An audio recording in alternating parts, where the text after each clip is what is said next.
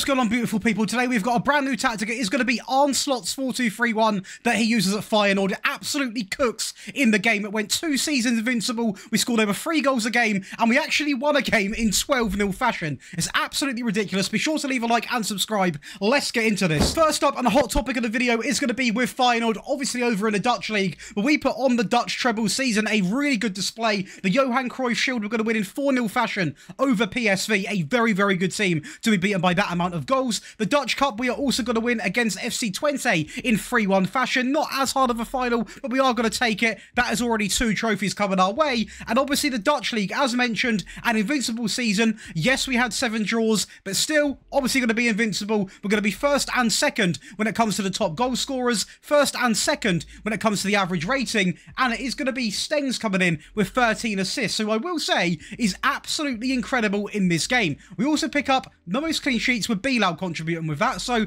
hats off to him. Going over to the stats, we are going to feature in almost everything. The most points per game, the most goals, the most shots, the fewest shots against. Possession-wise, we're not going to be rank one, but still got quite a respectable stat line at 60% of the ball. The most dribbles being made, the fewest conceded, and of course, the most clean sheets. But of course, over to the data hub, is going to be 2.82 goals per game, only 0.56 conceded, 17.47 shots per game, and over a 90% pass completion. Now, I will say, although it is very defensively solid, it's not like a Simeone, obviously negative defensive football. You aren't going to concede too many goals because you're going to be dominating possession. So it's a really good way of playing football and a ton of fun. And we will watch that Dutch Cup final. As you can see here, we got off to a flyer of a start. Stengs into Hancko. And by the way, I'm going to be releasing that set piece video. I'm partly there with it. We use some of them in this video for this tactic, and they do cook, as it is going to be a great ball there, and it is going to be Lingr who goes through and tucks that away. They do get a goal to bounce back, to be fair, to make it 2-1, but to be honest with you, it wasn't really a threat, and after this went in, I switched to the defensive tactic, and we sealed it out, and actually went on and scored on the counter-attack. Down the left-hand side, Lopez picks it up, got the look to go inside, a great ball in, and a fantastic header. Up next, and the real powerhouse of the video, that is going to be Paris Saint-Germain, obviously over in France, but we win the quadruple, being the French League, the Champions League, in 4-1 fashion over Manchester United. The French Cup coming in as well against, when the game decides to load, against Monaco in 3-1 fashion. And also the Trophy de Champion against Toulouse in 4-1 fashion. Every single final to be made to look easy by us in this league. And of course, going over to the league table, again, invincible season, 30 wins, only 4 draws. Ramos outscores Mbappe. Mbappe, Asensio and Dembele, first, second and third with highest average rating. Assist-wise, Mbappe and Hakimi make the top three. And Donnarumma contributes with the most assists. Now, of course, going over to the team stats. Most points per game, most goals, fewest shots against, most shots, most possession, most dribbles made, fewest conceded, and the most clean sheets. We only lost in two stats, and only one of them I would have wanted, which is the pass completion. Merely a perfect sweep. Unfortunately, not quite, but still absolutely ridiculous. And what is ridiculous is this schedule tab. If we look at this, we can actually get an indicator of some of these games. It was real good stuff coming from all of the team. And what I will say is we had a blowout game here, a 12-0 win. I have not seen a, I've not seen a game like that, despite it being PSG in quite some time. 12-0. Absolute dominance from this team on the screen as you're seeing. Data hub-wise, it's going to be phenomenal. 3.09 goals per game, 0.47 conceded, 18.71 shots a game, approaching 19 that. A great pass completion, and of course, attack win ratio also looking quite pretty, just shy of 80. Well, you've got to watch a Champions League final if you get to it. And to be fair to Manchester United, they got off to a flyer inside of five minutes. But what I've done is, we come back. Of course we do. And Mbappe sticks away a penalty in the 18th minute. And before half-time, Manchester United decided to do what they do in real life and collapse big time as Marco Asensio goes through absolutely everybody and slots it into the bottom left. And literally a minute afterwards, we build up again with some fantastic play using every area of the field. Beautiful play, in fact. Put it past Onana again to make it 3-1 in the first half. And time for one more before the wrap of these highlights. Mason Mount doing Mason Mount things. Loses it. Vitinha sticks it in the net. We'll take it. Now, I've had a viewer of mine comment a lot about getting Sunderland in a video, so this is for you. Sunderland come in. Now, I will say, cup-wise, we weren't the best, but league-wise, we were absolutely ridiculous, which is good to see. Only losing 5 out of a potential 46, winning 30, and of course, drawing the other 11 games. We don't only get promoted, we actually win the whole lot. Southampton finish in second, and Hull win the playoffs, which is a bit of an interesting one. In terms of the stats, we're not going to be as dominant, of course. We're not as of a strong team in the relative relative league. We are, however, going to be second with the highest average rating, with Roberts, who also got 20 assists in the league. Now, despite not being the most convincing team when it comes to defensive work, we still somehow maintained the best clean sheet record at 20, so still very, very good. And it gets backed up here with the most clean sheets. We're also going to be looking at the most goals, outscoring Norwich, Hull, Ipswich, Southampton, Leeds, Blackburn, Bristol by quite some amount. The only team that was really close is Norwich, only three goals shy. But overall, a ridiculous season, also obviously having the most points. The data hub as well should look quite cool as well. 2.26, very, very good indeed. Under a goal conceded, which we love to see with a team like this. A fantastic pass completion, over 12 shots a game, and a tackle win ratio of 74.62. This is why I always say, please comment, guys, any teams you want to see featured in these videos, even if it's not to recreate their manager, I'll get them in a test. If you support the team, it's quite cool to see how they do in the game. And last game of the season, we give Sheffield Wednesday a bit of a battering. We are at home, to be fair, but we got off to an absolute flyer of a start. It would have been a penalty anyway. but 1-0 inside of 27 minutes. Now all the way into the second half, three minutes after that um, half-time whistle, Neil into bar, cut inside, and an elegant finish into the bottom right hand corner. But there's two more goals to come. You know how we do on this channel. We're going to play it around the back. Very fast paced football. Ball over the top. Into Dak. Doesn't even take a touch. Hits it into the ground and blasts it past Charles. We go again now down the right hand side. It's going to be Ballard. Loads of space to drive into. Pause. Look at the players in the box. Is what I love about Arne Slot's style. So aggressive when it comes to the attacks. We've got endless options. Who's going to go to? Hume is going to play it across. a little bit lucky, but I'm not complaining.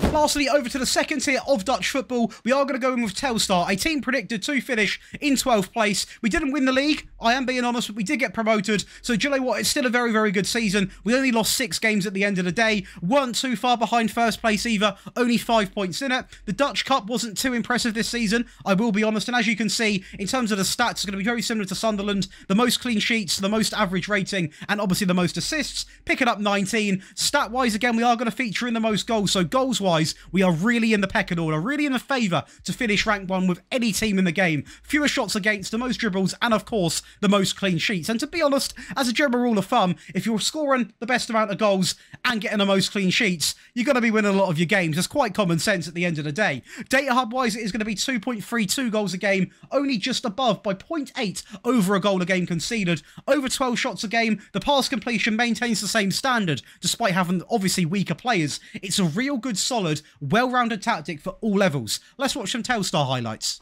We didn't struggle against the best in the league. The team which did finish first, we actually beat 4-0 away from home. So we missed we messed up against some of the smaller teams in the league. It happens in football. And as you can see, we weren't just scoring lucky goals against first in the league. We were absolutely battering them, having our way with them, going down the right, getting it back in the middle, loads of space, loads of energy and just loads of quality. They simply couldn't match it. One more goal to come in now, just in the 82nd minute. We're going to play it through the middle, loads of space on the right. He gets found, cuts inside. What a finish. And you might be asking yourself, Josh, does this work on console or mobile? Yeah, it does. It works on both. You can get them obviously over on the Patreon. Loads of you guys have come over already and absolutely hyped them up. So hopefully I see a few more of you over there because you seem to be loving them and you can get your requests in directly for mobile and console. Now what I will say is we absolutely cooked over on console. I think we actually matched what we done obviously on the PC, winning the Dutch treble. Being the Dutch league a lot more comfortably though to be fair. I mean if we look at this right now, we only lost three games out of 34. Yes, Ajax had a decent season, but other than them, there was no competition competition at all. Speaking of competition, the Dutch Cup, we are going to win 5-0.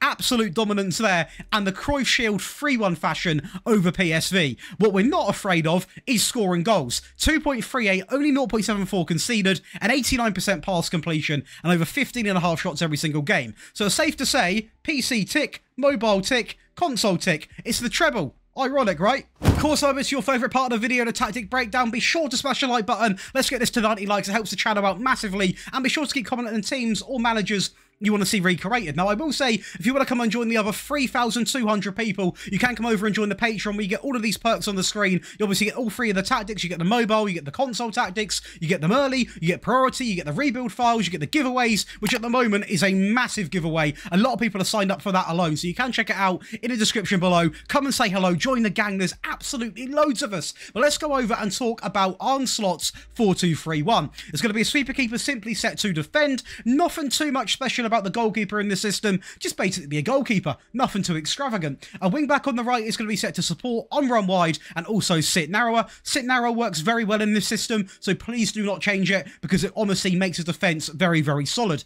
A ball playing defender on the right is going to be set to the default, as is the left hand side, and on the left we are going to have a wing back again, but on defend on the default. Why is he on defend? Because on this side, the inverted winger is a lot more attacking than the support winger on the right hand side of the field. And also, we're a bit more pushed up with the Volante on the left hand side. Going to that wonderful midfield, the DM is going to be on support, simply on tackle harder. And next to him is going to be a Volante on support, on dribble more, get further forwards, and move into the channels. Again, I wouldn't really faff about with changing these um team instructions, or player role, shall I say, sorry, because these two work really, really well as a pair.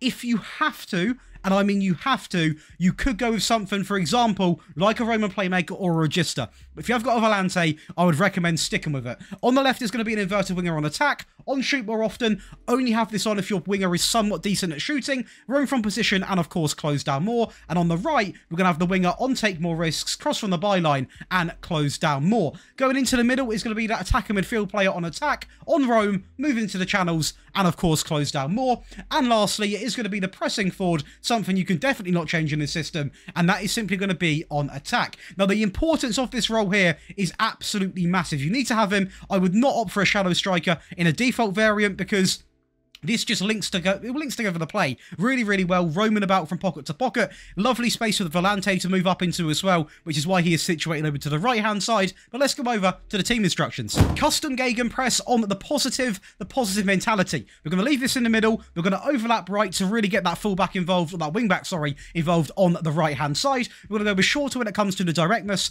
We're going to go slightly higher when it comes to the tempo. We are going to opt for being more expressive. We're going to change this to the low crosses, and we are also going to work the ball into the box. It's quite basic, it's quite fluent, and it's not too risky either. So you're going to have good levels of possession, but also it's got enough about it to go out and score those vital goals.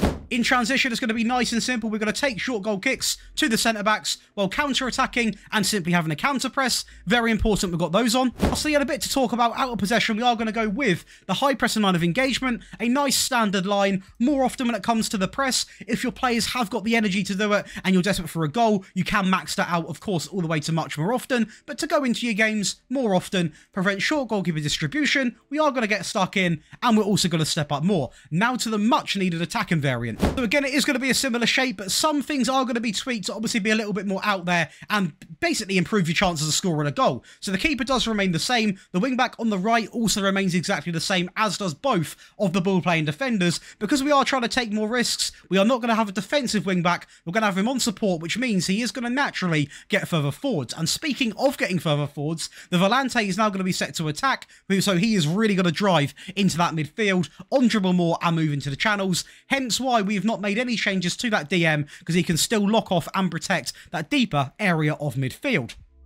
Now on the right is going to be the winger who obviously was on support. He is now going to be on attack, on close down more. The inverted winger on the left remains exactly the same. A shadow striker does come in for the attacking variant because what will happen is this will actually shape up like a 4-2-4. When you're on a counter attack, this player will naturally drift over here. The shadow striker will obviously almost get in this little pocket here. Your wingers will be quite wide. The left will cut inside. And these two here will form a nice 4-2-4 shape. So it's very sort of transitional, very good to see. You can actually see the formation physically changing. And up front is going to be the advanced forward simply on attack. And to do all this is still going to be the Gegenpress on the positive. But when it comes to in possession, we are going to have a little change. That is going to be the addition of obviously passing it into the space, overlapping left, overlapping right. So the big change there is also getting the left back involved. This remains the same. The tempo is going to be maxed out, a little bit more urgency to the game. We're obviously going to have to be more expressive still on. This remains the same because we don't need to change it. What I will say is, if we talk in the last couple of minutes of the game, and I mean the last couple of minutes,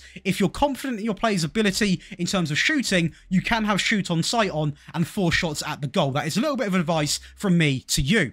In transition, the only change is going to be the addition of distribute quickly. Nothing too much to talk about. And lastly, out of possession, of course, we are going to look to up that line from standard to higher. The one real big change there alongside of maxing out that trigger press. Now, this is just going to push that team up the field a little bit more. And the addition of that little bit added trigger press is going to be the much needed thing. Now, going over to the defensive tactic, you also are going to need this because at the end of the day, if you're a goal or two 2 up, you want to slow the pace down, or just defend a simple 1-0 lead, you need this to do so. So it is going to be the goalkeeper, who is going to be a sweeper keeper simply on defend. A wing-back on the right is going to be on defend on sit narrower, as is the left-back. Now, what's going to happen is these wing-backs are going to be very narrow, obviously, hence the team instructions. They're going to be very close to the ball-playing defenders, and it's going to be very hard for any opposition to actually get a shot inside the box. To even get into the box is going to be quite a complicated process. Both of the ball-playing defenders remain exactly the same, and it is a very negative, I will say negative back line, but that is because naturally this 4-2-3-1 is quite attacking anyway, so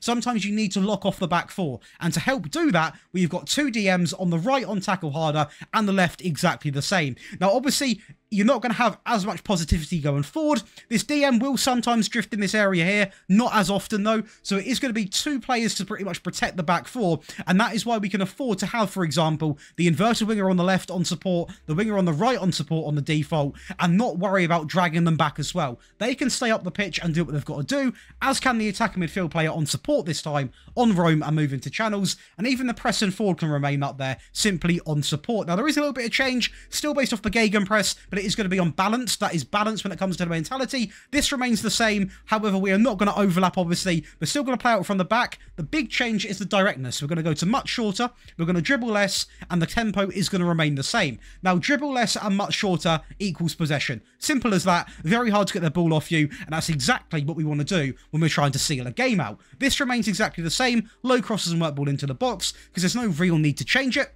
In transition, again, it's going to be a little bit different. So we are going to counter press as to be expected, but we're not going to counter attack. We're not desperate for goals. We're going to hold the shape, compress the team, play it side to side, and frustrate opposition. And we're going to play to anyone across the back line while taking short goal kicks. And lastly, nice and simple, out possession, very, very basic actually. Standard, the high press and line of engagement, standard when it comes to the trigger press, and we are also going to prevent short goal distribution because at the end of the day, we have got a pressing forward and three other players quite pushed up that field. And that's going to complete for you boys and girls on Slot's 4-2-3-1. Now, you're going to get the default, the attacking and defensive all over on the Patreon. You get them early and all this other cool stuff. You can copy them click for click, which is why I keep them in the videos. If you have enjoyed, please leave a like. It helps out massively. And consider subscribing. Turn on that wonderful notification bell. Have a great day. I'll be seeing you in the next one.